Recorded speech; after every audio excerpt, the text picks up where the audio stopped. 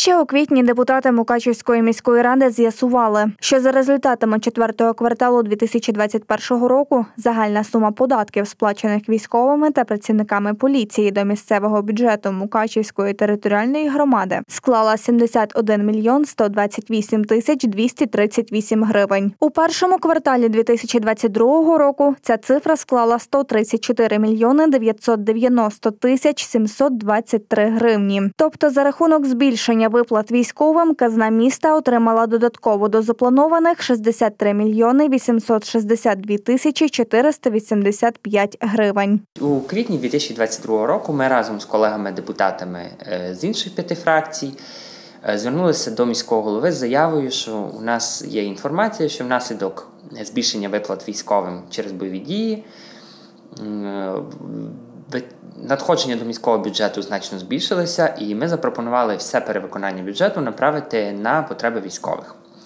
На наступний день е, Мукачівська міська рада, офіційна сторінка, оприлюднила інформацію, що це є фейк, що таких надходжень немає, і що депутати просто піаряться е, на війні, скажімо так. І тоді Андрій Балога, маючи цю інформацію, стверджував, що за його ініціативою на шостому тижні війни виконавчий комітет вирішив виділити по 100 тисяч гривень сім'ям загиблих військовослужбовців. Це був лише перший випадок, коли голова вирішив підняти свій авторитет у очах громади, забувши, що насправді на доцільність такого рішення йому вказали міські депутати. Станом на сьогодні ця сума складає близько 447 мільйонів гривень.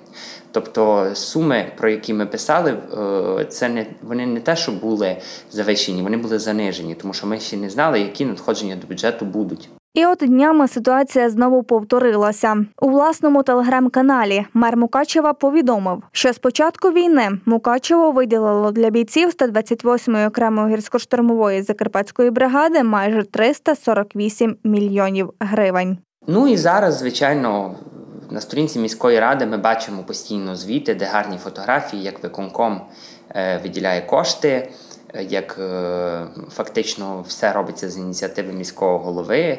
І фактично ну, для нас не принципово, щоб це була наша заслуга депутатів.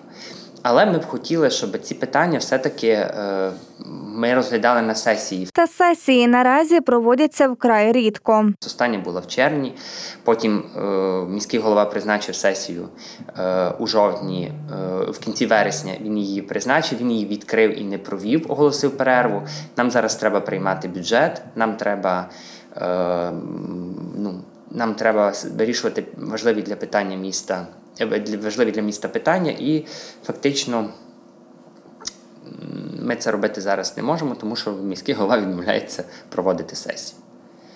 Е, ну, На мою думку, е, якщо люди обрали депутатів для того, щоб представляли їхні інтереси, не, не дарма е, придумана система округів, кожен депутат представляє свій округ, він може підняти проблему якусь, е, в тому числі і за, запропонувати таку ініціативу, як виділити кошти на потреби військових.